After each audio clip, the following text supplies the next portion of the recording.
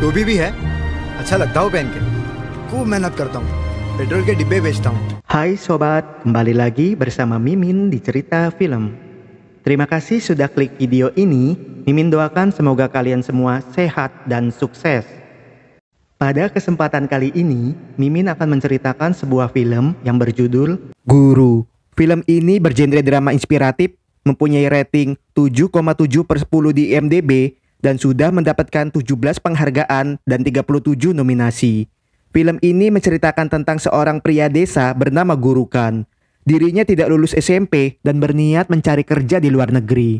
Di sana, Gurukan menjadi buruh bensin keliling. Berbekal pengalamannya, Gurukan mendirikan bisnis di negaranya. Namun, membangun bisnis di negaranya tidaklah semudah yang dibayangkan. Tanpa berlama-lama, kita langsung saja ke alur cerita. Dan jika kalian suka dengan video ini, jangan lupa like, share, komen, dan subscribe agar channel ini terus berkembang.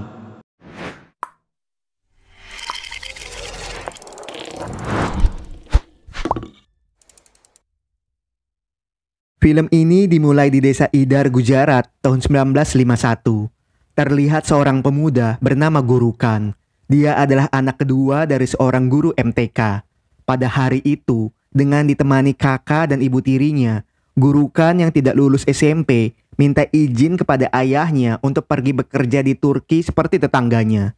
Dengan kesal, ayahnya merasa malu karena anaknya telah gagal dan dengan perasaan tersebut mengizinkan Gurukan untuk pergi. Sesampainya di Turki, guru disambut oleh tetangganya yang bernama Gansyam Das. Berkat Gansyam, guru bekerja menjadi seorang buruh keliling untuk menjual bensin kalengan.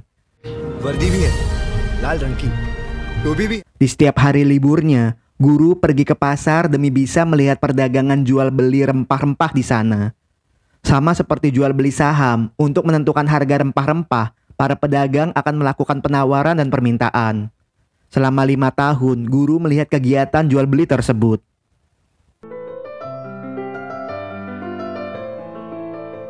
Gurukan juga adalah orang yang giat dalam bekerja.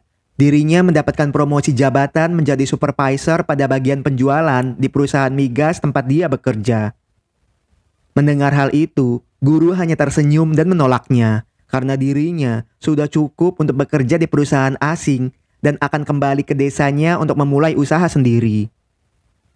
Di lain sisi, di stasiun kereta api terlihat seorang wanita mendapatkan sebuah surat dari orang tidak dikenal.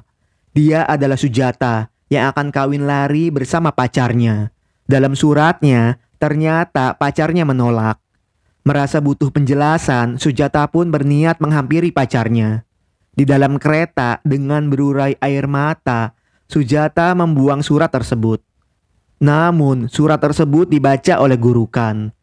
Setelahnya, Gurukan memberitahu kepada pria tua yang sedang mencari Sujata. Sesampainya di desa, guru membelikan ayahnya sebuah jam tangan. Guru memberitahu bahwa dirinya telah berhenti kerja dan akan memulai usaha di sini. Ayahnya pun terkejut, dengan kesal ayahnya pun pergi. Dahulu sebelum jadi guru MTK, ayahnya adalah seorang pebisnis gagal. Ayahnya khawatir anaknya akan bernasib sama seperti dirinya. Setelahnya, Gurukan menemui teman kecilnya bernama Jignes. Ayah Jignes adalah seorang rentenir dan berniat meminjam uang kepada ayah Jignes untuk modal usahanya yang kurang. Jignes memberitahu bahwa ayahnya tidak meminjamkan uang lagi karena sedang menabung untuk mas kawin kakak Jignes. Mendengar hal itu, guru akan menjadikan Jignes rekan bisnisnya jika merestui dirinya untuk menikahi kakaknya. Esoknya, tanpa berpikir panjang, guru datang ke rumah Jignes. Di sana, dirinya terkejut karena Sujata adalah kakak dari Jignes. Guru menjelaskan bahwa dirinya akan menikahi Sujata. Ayah Sujata pun terkejut karena guru belum mengenal dekat Sujata. Sujata adalah gadis gila yang akan kawin lari dengan pria tua berjenggot. Namun, guru tidak peduli dan meminta ayah Jignes untuk merestui. Nggak pakai lama, pesta pernikahan pun digelar. Selepasnya, berbekal mas kawin dari ayah Sujata sebesar 5 juta rupiah, mereka pergi ke kota Mumbai. Sesampainya di Mumbai, Guru dan Jignes pergi ke pasar benang. Di sana, Jignes terkejut dengan transaksi jual beli yang begitu ramai dan berisik. Dengan jumawa, seorang pekerja memberitahu untuk memulai bisnis di sini harus memiliki izin serikat dagang dan membutuhkan waktu lima tahun untuk seperti dirinya. Empat minggu kemudian, merasa sulit bertemu dengan pimpinan serikat di kantornya, guru pun datang langsung menemuinya. Dia adalah Arjan, pemimpin serikat dan juga kontraktor kaya. Dengan memohon, guru meminta surat izin berjualan di pasar. Sialnya, Arjan tidak langsung memutuskan. Sesudahnya, guru memberitahu bahwa suatu hari nanti dirinya akan memiliki sebuah istana dan pabrik yang besar melebihi tempat dia bekerja dahulu. Gak lama setelahnya, dengan kecewa, Jignes memberi kabar bahwa Arjan telah merobek surat permohonan guru. Esoknya, guru mendatangi kediaman Arjan, hanya saja Arjan tidak ada di tempat. Seorang pria yang sedang jogging merasa curiga karena guru terus memandang apartemennya. Dengan kesal, guru memberitahu bahwa Arjan yang tinggal di salah satu apartemen tersebut tidak mengizinkan dirinya untuk membuka bisnis dengan cara yang benar. Ternyata pria tua itu adalah Gupta, pemilik surat kabar ternama di Mumbai. Gupta akan membuat suara guru didengar jika itu adalah suara kebenaran. Beberapa hari kemudian, dalam koran lokal, suara keluhan guru masuk dalam surat kabar tersebut. Dengan senang, guru pun menunjukkannya kepada anggota serikat. Arjan yang datang memberitahu bahwa karena pemberitaannya di surat kabar, dirinya akan mengundurkan diri dari ketua serikat. Di hari pembukaan kantor baru, Gupta dan cucunya yang bernama Mina datang untuk memberikan selamat. Kantor tersebut digunakan untuk tempat menaruh benang yang akan dijual. Guru pun memberitahu, selain menjual benang, dirinya akan menjual kain sari sintetis. Esoknya, kantor perdagangan jual beli benang ditutup lantaran transaksi tersebut dianggap judi oleh dinas terkait. Seorang anggota bernama Das menyalahkan guru karena selama ini transaksi jual beli selalu aman sebelum guru bergabung. Dengan yakin, guru pun menjelaskan bahwa Arjanlah yang sengaja melakukannya karena merasa tidak terima dengan pemberitaannya di koran. Dengan cepat, guru bersama dengan buruhnya membawa puluhan karung benang dan mengirimnya ke pejabat terkait. Dengan kesal, usahanya tutup karena keputusannya yang tiba-tiba dan sepihak. Empat hari kemudian, khawatir citranya dianggap buruk oleh atasannya, pejabat itu datang menyuruh guru untuk mengambil semua karung di rumahnya. Setelahnya, dengan senang, para pelaku bisnis memuji guru karena telah membuat usaha mereka kembali beroperasi. Bersama dengan Jignes, guru mulai melakukan penjualan di pasar. Pesanan mereka tidak hanya dari dalam kota, melainkan dari luar kota. Sedangkan Sujata bertugas mengontrol barang yang masuk dan keluar. Bak pesawat tempur, bisnis guru pun meningkat 300% hanya dalam 6 bulan. Melihat hal itu, dengan percaya diri, guru memberitahu ke para pekerja bahwa dirinya akan membuka sebuah pabrik kain sari sintetis di dekat desanya. Selaku rekan bisnis, Jignes pun kecewa karena keputusan besar tersebut tidak didiskusikan kepada dirinya terlebih dahulu. Dengan marah, Jignes memberitahu bahwa guru menikahi Sujata hanya karena mas kawin dari ayah mereka, bukan karena cinta pada pandangan pertama.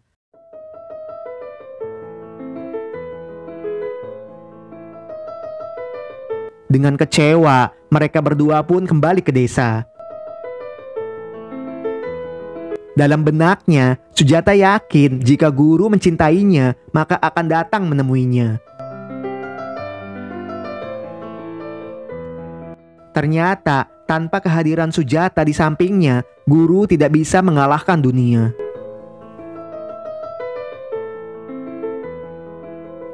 Dengan dukungan istrinya, guru berhasil membangun pabrik impiannya bernama Sakti Polyester. Dalam beberapa tahun, usahanya melesat tajam seperti roket. Kini, guru sudah memiliki ribuan karyawan dan puluhan pabrik kain sari sintetis yang tersebar di seluruh India.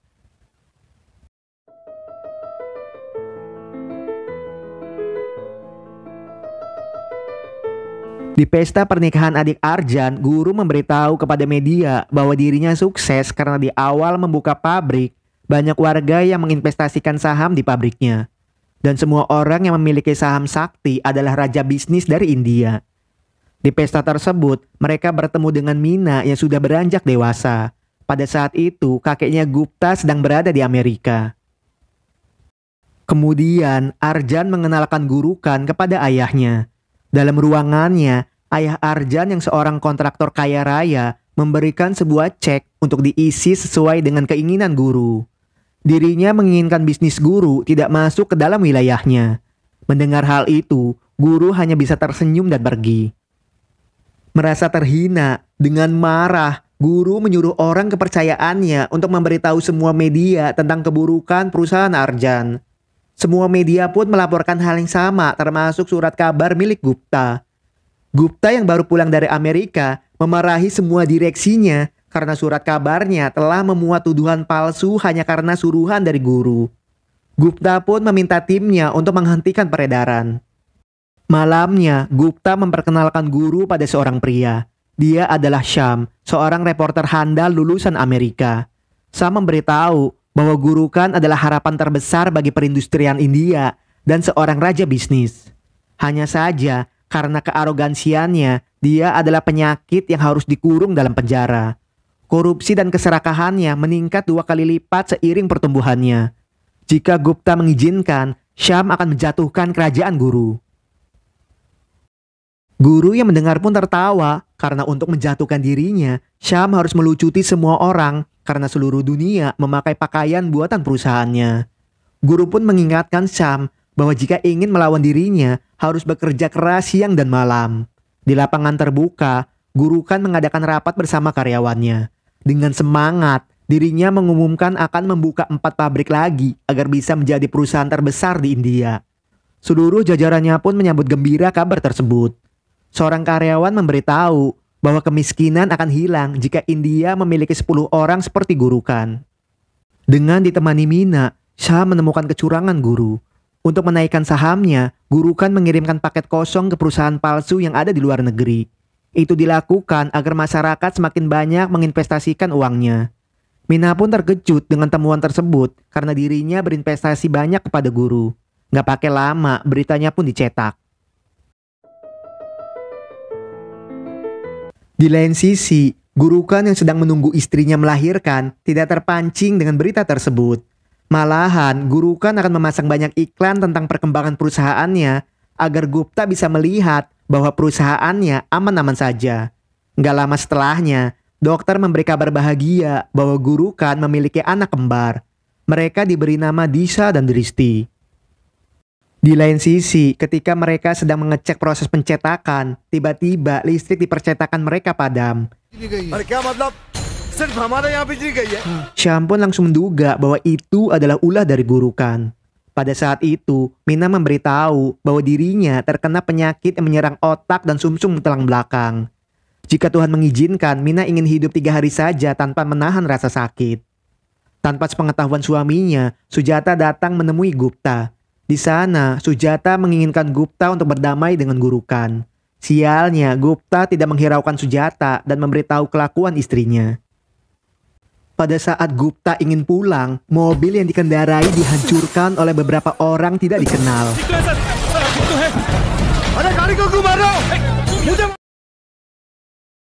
Atas peristiwa itu, Gurukan langsung mendatangi Gasyamdas, yaitu tetangganya waktu kerja di Turki. Sebagai manajer perusahaan, dirinya tidak terima jika harga diri guru diinjak. Dengan marah, guru kan mengingatkan Gansyam untuk tidak mengulanginya karena Gupta sudah seperti ayahnya. Di lain sisi, dengan serius, Sam ingin menikahi Mina.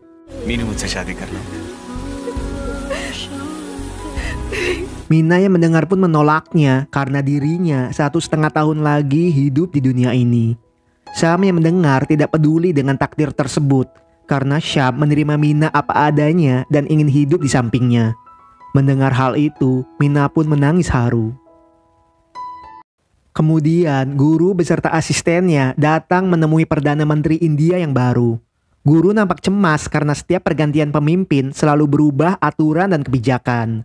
Dirinya tidak mau aturan yang baru berdampak buruk dengan bisnisnya. Dalam pertemuan tersebut, guru kan memberitahu bahwa jika aturan diubah, maka siapa pun bisa jatuh termasuk pemerintahan yang baru. Setelahnya, dengan senang, guru kan memberitahu asistennya bahwa Perdana Menteri akan datang pada pembukaan pabrik migasnya. Singkat cerita, dalam waktu kurang dari dua tahun, pabrik migas Gurukan telah jadi dan beroperasi. Pada saat itu, Gansyam menjadi orang yang dipercaya untuk memimpin pabrik migasnya. Dengan berbohong, Sam mengaku sebagai Mukherjee dari majalah nasional India. Tanpa disadari, Gansyam telah terpancing oleh wawancara Syam. Sam menemukan dua pelanggaran hukum pada perusahaan migas tersebut. Mereka telah melakukan kecurangan di bea cukai dan lembaga impor. Melihat hal itu, dengan marah, Gansyam mengusir Syam dari kantornya. Berita tersebut menjadi viral dan gak perlu waktu lama pabrik migas miliknya langsung ditutup oleh dinas terkait.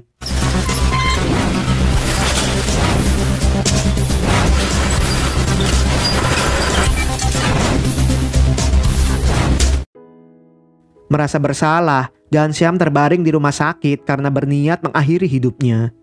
Guru yang datang menjelaskan Kedua orang tuanya telah mati dan dirinya marah bukan karena kesalahan Gansyam, tapi marah dan kecewa karena Gansyam ingin meninggalkannya. Dengan sedih, guru kan tidak bisa melakukan perjuangannya sendiri tanpa sosok Gansyam di sampingnya. Selepasnya, guru kan yang awalnya marah menahan emosinya karena baru mengetahui Mina telah menjadi istri Syam. Pada saat itu, guru kan terkejut melihat kondisi Mina terlihat begitu lemah. Bagi guru, Mina seperti adiknya sendiri dan menitipkannya ke Sam untuk dijaga. Kemudian, dalam rapat bersama karyawannya, pidato semangat guru pun tidak didengar hingga situasi menjadi tidak terkontrol. Karyawan nampak kecewa dengan penutupan dan berita di surat kabar. Banyak masyarakat yang minta ganti rugi karena uang mereka telah hilang akibat saham gurukan yang terjun bebas. Seketika Guru Khan menjadi bangkrut dan kembali pada rumahnya di Mumbai. Di saat mereka sedang mengenang masa lalu, tiba-tiba Guru tidak bisa menggerakkan tubuhnya dan pingsan. Dengan cepat, Sujata membawanya ke rumah sakit.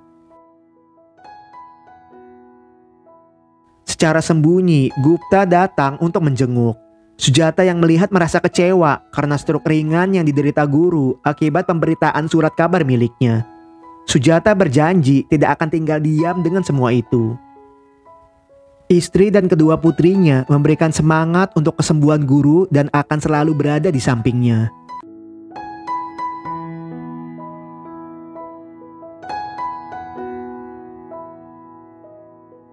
Selepasnya, Departemen Kehakiman datang membawa surat panggilan untuk gurukan. Mereka menginginkan guru datang pada persidangan. Dua bulan kemudian, guru yang sudah baikan datang menjenguk Mina. Malangnya, kondisi Mina makin terlihat lemah.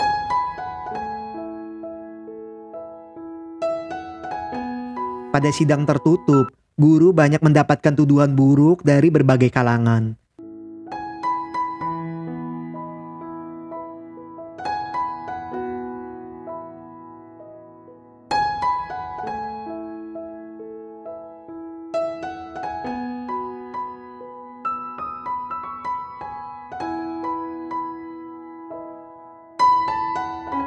Pengacara guru yang berupaya melakukan pembelaan ditolak oleh ketua persidangan.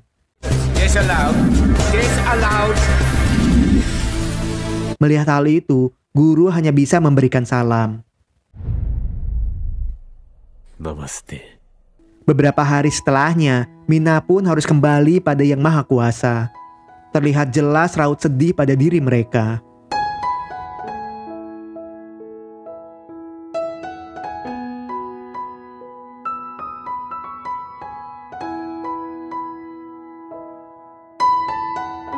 Pada sidang terbuka, banyak media datang untuk meliput. Terlihat seorang pria datang dari luar kota hanya untuk mendukung guru karena baginya guru kan telah memberikan kehidupan untuk keluarganya. Dalam persidangan, guru yang diberikan waktu untuk membela diri menyatakan argumennya. Dengan kesal, guru kan tidak terima dengan pemerintah dan jajarannya yang serta-merta menyalahkan dirinya. Dirinya memulai bisnis dari nol hingga bisnisnya menjadi tumbuh dengan pesat. Untuk melalui itu semua, sistem pemerintah yang buruklah yang membuatnya melakukan hal seperti itu. Hingga saat ini, orang-orang yang ingin memulai bisnis di India harus rela menggelontorkan banyak uang kepada serikat demi bisa berbisnis. Jika ingin menangkap dirinya, pengadilan juga harus menangkap 3 juta pemegang saham lainnya karena mereka semua pun menikmati hasilnya. Guru kan tidak sendirian karena seluruh bangsa ini sedang bergerak maju bersama dirinya. Warga yang hadir pun nampak memberikan dukungan untuk gurukan. Setelah berdiskusi dengan jajarannya, pengadilan memutuskan bahwa dari 29 tuduhan yang telah disematkan, hanya dua tuduhan yang telah terbukti. Untuk itu, gurukan harus membayar denda sebesar 1,2 miliar rupiah dan 18 juta rupiah kepada pihak penggugat. Kabar baiknya, perusahaannya yang ditutup bisa kembali beroperasi. 10 tahun kemudian, dengan didampingi keluarganya, Gurukan mengadakan rapat di sebuah stadion. Kini, perusahaan yang dipimpinnya telah menjelma menjadi perusahaan migas dan pakaian terbesar di India. Dan Gurukan tidak akan berhenti untuk membantu banyak orang hingga perusahaannya menjadi yang terbesar di dunia. Dan film pun selesai.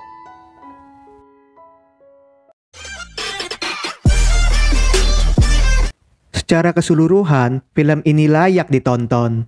Film ini mengajarkan kita bahwa untuk bisa sukses, kamu harus berproses, berjuang, dan terus berusaha.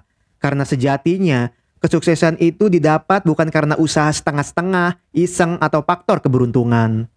Terima kasih untuk kalian yang nonton video ini sampai selesai. Sekian ulasan alur cerita film kali ini. Jangan lupa like, share, komen, dan subscribe supaya kalian tidak ketinggalan jika ada video menarik dari Ekstrada TV. Terima kasih, jumpa lagi di video selanjutnya, dan salam.